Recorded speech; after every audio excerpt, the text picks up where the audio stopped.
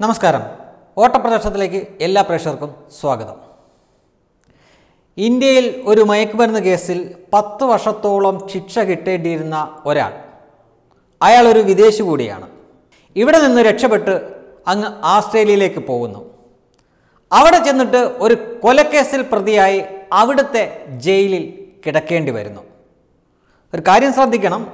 ഇവിടെ പത്ത് വർഷമെങ്കിലും അകത്ത് കിടക്കേണ്ട വ്യക്തിയായിരുന്നു. ഇവിടെ നിന്ന് രക്ഷപ്പെട്ട് രക്ഷപ്പെട്ടത് എങ്ങനെയാണെന്ന് പറഞ്ഞു തരാം ഇവിടെ നിന്ന് രക്ഷപ്പെട്ട് ആസ്ട്രേലിയയിലേക്ക് തിരിച്ചു പോകുന്നു. അവിടെ ചെന്ന് ഒരു കൊലപാതകം ചെയ്യുന്നു. ആ കേസിൽ പിടിക്കപ്പെടുന്നു ജയിലിലാക്കപ്പെടുന്നു. അവിടെ വെച്ച് തന്റെ സഹ തടവുകാരനോട് ഞാൻ ഇന്ത്യയിലായിരുന്ന സമയത്ത് കേരളത്തിലായിരുന്ന സമയത്ത് അവിടെ വെച്ച് എന്നെ ഒരു മയക്കുമരുന്ന് കേസിൽ പിടിച്ചുവെന്നും എന്റെ വക്കീൽ അദ്ദേഹത്തിന്റെ കുബുദ്ധി ഉപയോഗിച്ചു എന്നെ രക്ഷപ്പെടുത്തി എന്ന് തന്റെ സഹ തടവുകാരനോട് പറയുന്നു. അത് അവിടുന്ന് അവിടുത്തെ അന്വേഷണ ഉദ്യോഗസ്ഥർ അറിയുന്നു പിന്നെ ഇന്റർപോൾ അറിയുന്നു. അങ്ങനെ ഇന്റർപോൾ നമ്മുടെ ഇവിടുത്തെ സി ബി ഐയോട് പറയുന്നു സി ബി ഐ കേരളത്തിലെ അന്വേഷണ ഉദ്യോഗസ്ഥരെ ഈ വിവരം ധരിപ്പിക്കുന്നു. അങ്ങനെ ആ കേസ് വലിയ വിവാദമാവുന്നു അന്ന് ആയിരത്തി തൊള്ളായിരത്തി തൊണ്ണൂറ്റിയാറിൽ വിവാദ നായകൻ ആരാണ്? ഇന്നിപ്പോൾ ഗതാഗത മന്ത്രിയായിരിക്കുന്ന Antony Raju. M L A ആണ് മന്ത്രിയാണ്. പക്ഷേ അത് അന്ന് വിവാദമായ സമയത്ത് വി എസ് അച്യുതാനന്ദന്റെ സമയമായിരുന്നു. അടുത്ത ഇലക്ഷൻ വന്നപ്പോൾ വി എസ് അച്യുതാനന്ദൻ ആന്റണി രാജുവിനു സീറ്റ് നിഷേധിക്കുന്നു. ഇപ്പോഴും ആ കേസ് അങ്ങനെ തന്നെ നിൽക്കുന്നു. ആന്റണി രാജു കുറ്റവിമുക്തനാക്കപ്പെട്ടിട്ടില്ല. അല്ലെങ്കിൽ കുറ്റവാളിയാക്കപ്പെട്ടിട്ടുമില്ല. ഇത് രണ്ടും നടന്നിട്ടില്ല. ഇനി എന്താണ് ആന്റണി രാജു ചെയ്തതെന്നല്ലേ? ഈ വിദേശിയുടെ അടിവസ്ത്രത്തിൽ നിന്നാണ് മയക്കുമരുന്ന് പിടിച്ചത് എന്നാണ് കേസ് ഡയറിയിലുള്ളത്. ആ അടിവസ്ത്രം കൗശലത്തിൽ കൈ കോടതിയിൽ നിന്ന് കൈക്കലാക്കുന്നു ഈ ആന്റണി രാജു. പിന്നീട് അത് തിരിച്ച് കോടതിയിൽ ഏൽപ്പിക്കുമ്പോൾ ഈ സായിപ്പ് അഥവാ ഈ വിദേശിക്ക് ഇട്ടാൽ ചേരാത്ത പാകത്തിലാണ് അത് തിരിച്ചു കൊടുക്കുന്നത്. അങ്ങനെ ഈ അടിവസ്ത്രം ഈ വിദേശിയുടെ അല്ല എന്ന് സ്ഥാപിച്ചാണ് ഈ വിദേശിയെ ഇവിടെ നിന്ന് രക്ഷപ്പെടുത്തി വിടുന്നത് ആ അടിവസ്ത്രം ഈ ആന്റണി രാജു വാങ്ങിയെടുത്ത് അത് ചെറുതാക്കുകയോ അല്ലെങ്കിൽ അതിന് രൂപമാറ്റം വരുത്തുകയോ ചെയ്ത് കാണും. പിന്നീട് തെളിവിനായിട്ട് അല്ലെങ്കിൽ ഈ അടിവസ്ത്രം ഈ വ്യക്തിയുടെ തന്നെയാണോ എന്നറിയണ്ടേ അതാണ് തൊണ്ടി മുതൽ. അങ്ങനെ നോക്കിയപ്പോൾ ഒരു രീതിയിലും ഈ സായിപ്പിന് ഈ വിദേശിക്ക് ഇത് ചേരുന്നില്ല. അങ്ങനെ ഈ കേസിൽ സംശയത്തിന്റെ ആനുകൂല്യം കൂടെ കൊടുത്തുകൊണ്ട് ഈ വിദേശിയെ രക്ഷപ്പെടുത്തുന്നു. വിദേശി ഇവിടെ നിന്ന് നേരെ തിരിച്ചു ആസ്ട്രേലിയ ചെല്ലുന്നു. അവിടെ വെച്ച് ഒരാളെ കൂടെ കൊല്ലുന്നു. അകത്താവുന്നു അങ്ങനെ നോക്കുമ്പോൾ ആന്റണി രാജു ചെയ്തത് അക്ഷന്ത്യമായിട്ടുള്ള തെറ്റല്ലേ?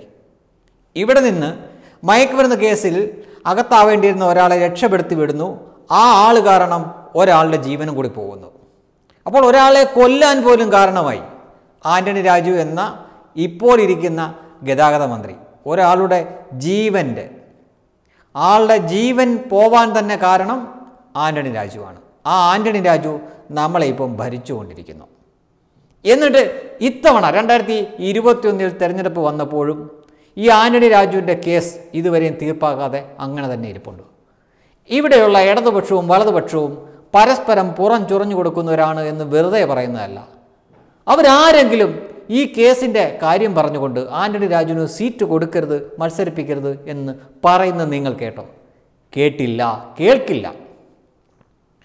ഓരോ ജനതയും അവർ അർഹിക്കുന്ന നേതാക്കളെ മ- അല്ലെങ്കിൽ ഭരണാധികാരികളെ മാത്രമേ കിട്ടൂ എന്ന് പറയുന്നത് അക്ഷരാർത്ഥത്തിൽ ശരിയാവുന്നത് കേരളത്തിന്റെ കാര്യം വരുമ്പോഴാണ്. ഇപ്പോൾ അത് പിന്നെയും കുത്തിപ്പൊക്കിക്കൊണ്ട് വരുന്നുണ്ട്. ഇങ്ങനെ തന്റെ മന്ത്രിസഭയിലുള്ള ഓരോ മന്ത്രിമാരുടെ പേരിലും ഓരോ വിവാദങ്ങൾ വരുമ്പോൾ യഥാർത്ഥത്തിൽ സന്തോഷിക്കുകയും രക്ഷപ്പെട്ടിരിക്കുകയും ചെയ്യുന്നത് പിണറായി വിജയനാണ്. അദ്ദേഹത്തിന്റെ മേലുള്ള ഈ സ്വർണക്കടത്തെന്ന വലിയ ആരോപണം നിലനിൽക്കുന്നു. ഇപ്പോൾ ഒരു മന്ത്രി ഇതിനകം തന്നെ രാജിവെച്ച് കഴിഞ്ഞിരിക്കുന്നു. കാര്യങ്ങൾ ഇങ്ങനെയാണ് പോകുന്നതെങ്കിൽ ആന്റണി രാജുവിനും രാജിവെക്കേണ്ടി വരും. പക്ഷേ ഇപ്പോഴാണ് കേരളത്തിലെ ജനങ്ങൾക്ക് യഥാർത്ഥത്തിൽ ഈ കേസ് എന്തായിരുന്നുവെന്നും എന്താണ് ആന്റണി രാജു ചെയ്തു വെച്ചതെന്നും മനസ്സിലാവുന്നത്. ആന്റണി രാജു അന്ന് രക്ഷപ്പെടുത്തി വിട്ട ആ വ്യക്തി കാരണം മറ്റൊരാളുടെ ജീവനും കൂടി പോയി എന്ന് ഓർക്കുക അല്ലെങ്കിൽ പത്ത് വർഷം ഇന്ത്യയിലെ ജയിലിൽ കിടക്കേണ്ടതായിരുന്നു ആ വ്യക്തി. ആസ്ട്രേലിയയിൽ മറ്റൊരു ജീവൻ നഷ്ടപ്പെടില്ലായിരുന്നു. അവിടെ വെച്ച് തന്റെ സഹ തടവുകാരനോട് പറഞ്ഞ കാര്യമാണ് അറിഞ്ഞ് കറങ്ങിത്തിരിഞ്ഞ് വീണ്ടും ഇവിടെ എത്തുകയും ഇത്രയും വിവാദമാകുകയും ചെയ്തത്. നമ്മുടെ ഇന്ത്യയിലെ നീതിന്യായ വ്യവസ്ഥകളെ പറ്റി പലരും പലപ്പോഴും പറഞ്ഞിട്ടുണ്ട്. എത്ര വർഷങ്ങളാണ് എടുക്കുന്നത് ഒരു കേസ് തീരാൻ? നമുക്കറിയാം ലാവലിൻ കേസ് പോലും. വർഷം കുറേയായി. അതേപോലെ തന്നെ ദാ ഇപ്പോൾ ജട്ടി കേസ്. എത്ര വർഷമായി? ഇരുപത്തിയാറ് വർഷമൊക്കെ കഴിഞ്ഞെന്നാണ് മുഖ്യധാര ചാനലുകളിൽ ഇരുന്നുകൊണ്ട് നിയമവിദഗ്ധർ തന്നെ പറയുന്നത്. ഇത് ഇനി എന്ന് അവസാനിപ്പിച്ച് തീർക്കാനാണ്. ആൾ വടിയായി കഴിയുമ്പോഴാണോ? നമ്മുടെ ഈ നിയമവ്യവസ്ഥിതിക്കൊക്കെ സമൂലമായിട്ടുള്ള മാറ്റം ആവശ്യമല്ലേ? മാറ്റണമെന്നൊന്നും പറയാൻ നമുക്ക് അധികാരമില്ലല്ലോ. മാറ്റം ആവശ്യമല്ലേ? പത്തും എഴുപതും വർഷം മുമ്പ് അന്ന് അന്നത്തെ സാമൂഹിക അവസ്ഥിതി വെച്ച് നിർമ്മിച്ചിരിക്കുന്നതാവണം ഇതൊക്കെ. പക്ഷേ കാല കാലക്രമത്തിൽ ഇതൊക്കെ കുറച്ചുകൂടി വേഗതയിൽ തീരത്തക്ക രീതിയിലാക്കിയാൽ നന്നായിരുന്നു എന്ന് മാത്രമേ ഇപ്പോൾ ഈ ഒരു അവസരത്തിൽ പോലും ഇങ്ങനെയൊരു പുതിയ വിവാദം പുതിയ വിവാദമല്ല.